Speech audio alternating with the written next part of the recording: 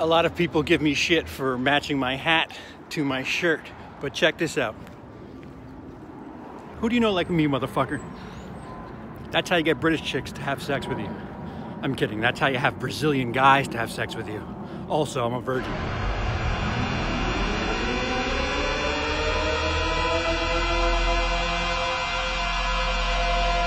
Guys, as you can see, there's a bunch of movies here that you could probably get on the, the website.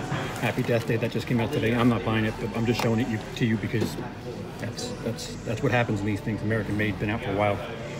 Despicable Me 3, Ninjago movie, Atomic Blonde, a slew of others, a bunch of movies that I will not be buying, but I'm showing to you like I'm some sort of beacon of information. These are all available online for the record. All right, guys, I'm back. Uh, didn't pick anything up.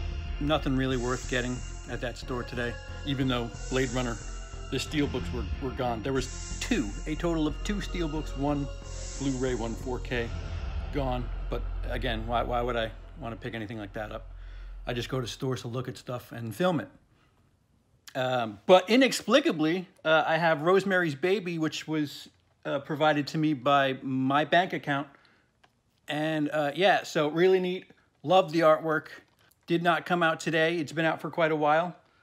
But uh, yeah, this has nothing to do with today's release date.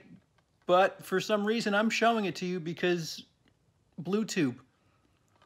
Uh, yeah, do me a favor, comment down below. Let me know what you got on this Tuesday. Did you pick up Blade Runner? Did you pick up Happy Death Day?